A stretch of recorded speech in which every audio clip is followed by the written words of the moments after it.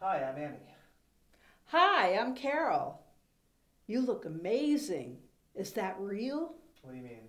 Your face, is it natural?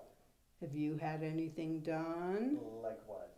Botox, fillers, chemical peels? No, it's just me. Okay, right. What, what are you saying? Well, it's just that there's nothing to be ashamed of. We are allowed to want to look our best, and some of us need a little help. Besides, we're only as sick as our secrets. I don't have any secrets. This is how I look. I don't need to do anything to look like this. Oh, and I do?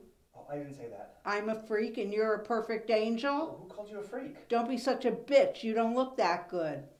I was just being nice and making friendly conversation, but you actually look overdue to have work done. I love how I look. I choose to age naturally. My face is my story. I think it's desperate and dishonest, and no one looks better after they do that kind of thing to themselves. You're right. What am I doing? You can't stop time. It's okay to look like you do. I just started doing this because my husband slept with our nanny. Oh, that's terrible. She was so beautiful. I, I don't know what I was thinking hiring her. I, I didn't know that my husband would be attracted to women from Norway. And, and she looked just like Tiger Woods' wife. I think she said they were second cousins.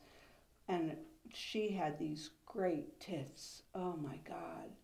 I didn't know that when I hired her either because when she came for the interview, she had on a baggy shirt. And then she came to work the next day and she had on this wife beater with these enormous breasts.